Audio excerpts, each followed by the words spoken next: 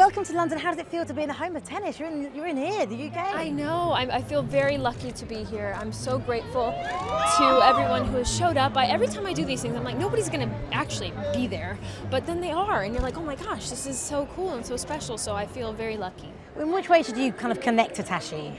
Um, in many ways, I think. Um, you know, while we go about things very differently, I think uh, ultimately she has a real love and passion for what she does, and, and it's taken away from her too soon. So I, I definitely empathize with that. And why should audiences see this? What's the message? Man, it's just, it's a ride. It's a roller coaster, like an emotional roller coaster. But ultimately, I think a lot of fun and, and leaves you questioning everything and wanting to talk to, you know, and argue probably about what character you like best and what character you hate most.